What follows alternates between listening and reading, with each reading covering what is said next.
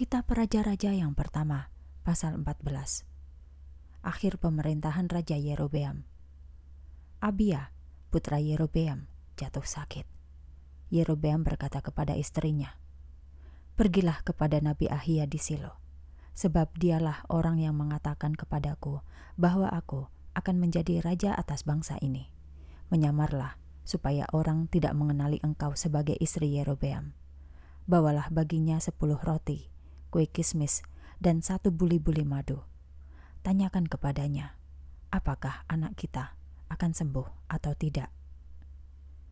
Istri Yerobeam pergi ke rumah Nabi Ahia di Silo. Pada waktu itu Ahia sudah tua dan penglihatannya sudah kabur.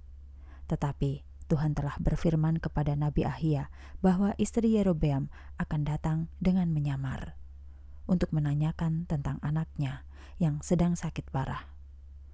Tuhan memberitahu kepadanya apa yang harus disampaikannya kepada istri Yerobeam. Ketika Ahia mendengar langkah perempuan itu, ia berkata, Silahkan masuk, hai istri Yerobeam. Mengapa engkau menyamar? Aku mempunyai berita duka bagimu. Sampaikanlah pesan Tuhan Allah Israel ini kepada Yerobeam, suamimu. Aku telah mengangkat engkau dari tengah-tengah orang biasa untuk menjadi Raja Israel, umatku.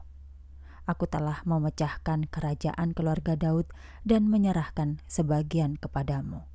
Tetapi engkau tidak seperti hambaku Daud yang menaati segala perintahku, mengikuti aku dengan sepenuh hati dan melakukan hanya yang benar dalam pandanganku.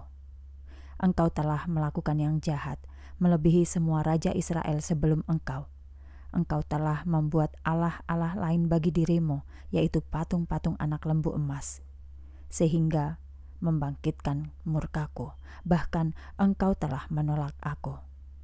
Sebab itu, aku akan mendatangkan malapetaka ke atas rumah tangga Yerobeam. Aku akan membinasakan semua anak laki-laki, anak laki-laki orang yang tinggi kedudukannya maupun yang rendah kedudukannya, anak orang merdeka maupun anak budak, Aku akan membasmi keluarga Yerobeam seperti penjaga kandang menyapu bersih segala kotoran dari kandang. Setiap orang keluarga Yerobeam yang mati di kota akan dimakan anjing, dan yang mati di padang akan dimakan burung. Demikianlah firman Tuhan. Selanjutnya Nabi Ahia berkata kepada istri Yerobeam, "Sekarang pulanglah engkau. Pada saat engkau memasuki pintu gerbang kota, anak itu akan mati. Seluruh Israel akan meratapi dia dan menguburkan dia, sebab dialah satu-satunya anggota keluarga Yerobeam yang akan dikuburkan. Karena dari seluruh keluarga Yerobeam, hanya pada anak inilah Tuhan Allah Israel melihat kebaikan.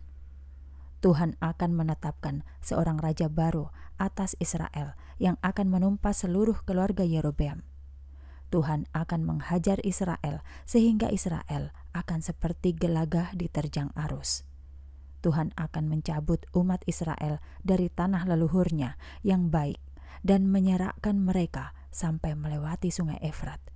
Karena mereka telah menyembah berhala-berhala sehingga membangkitkan murka Tuhan terhadap mereka. Tuhan akan meninggalkan Israel karena Yerobeam telah berbuat dosa dan menyebabkan seluruh Israel berdosa bersama-sama dengan dia. Maka pulanglah istri Yerobeam ke Tirza. Benarlah, anaknya mati pada saat ia melangkah masuk ke rumahnya. Mereka menguburkan anak itu dan seluruh negeri meratapi kematiannya, seperti yang telah difirmankan Tuhan melalui Nabi Ahia. Selanjutnya riwayat hidup Yerobeam, peperangan-peperangan yang dilakukannya, dan peristiwa-peristiwa lain semasa pemerintahannya. Semuanya dicatat dalam kitab sejarah Raja-Raja Israel. Yerobeam memerintah selama 22 tahun. Setelah ia meninggal, Nadab putranya menjadi raja menggantikan dia. Akhir pemerintahan Rehabeam Sementara itu, Rehabeam, putra Salomo, menjadi raja atas Yehuda. Ketika mulai memerintah, ia berusia 41 tahun. Ia bertahta selama 17 tahun di Yerusalem, kota yang dipilih Tuhan di antara segala kota Israel sebagai tempat kediaman namanya di antara umatnya. Ibu Rehabeam bernama Naama, seorang perempuan Amon. Selama pemerintahannya, orang Yehuda melakukan apa yang jahat dalam pandangan Tuhan, sama seperti orang Israel, sehingga membangkitkan murka Allah atas dosa mereka. Sesungguhnya, sikap mereka lebih jahat daripada nenek moyang mereka mereka mendirikan kuil-kuil serta tiang-tiang berhala dan membuat patung-patung berhala di atas bukit-bukit yang tinggi dan di bawah pohon-pohon yang rimbun. Di seluruh negeri terdapat orang-orang yang menjadi pelacur-pelacur untuk upacara ibadah dan melakukan homoseks seperti yang dilakukan orang Sodom.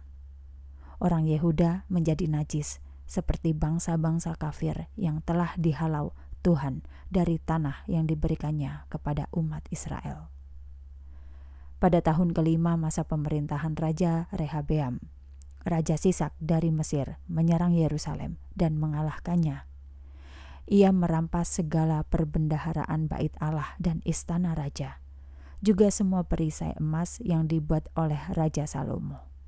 Sebagai gantinya, Raja Rehabeam membuat perisai-perisai tembaga yang dipakai oleh para penjaga istananya. Apabila raja pergi ke bait Allah, para pengawalnya berbaris di depannya dengan membawa perisai-perisai itu. Setelah itu, mereka membawa perisai-perisai itu kembali ke kamar jaga. Selanjutnya, riwayat hidup Rehabeam dan apa yang telah dilakukannya dicatat dalam kitab sejarah raja-raja Yehuda. Di antara Rehabeam dan Yerobeam terus-menerus terjadi peperangan. Ketika meninggal, Rehabeam dikuburkan di makam nenek moyangnya di kota Daud. Abiam atau Abia, putranya, menggantikan dia menjadi raja Yehuda.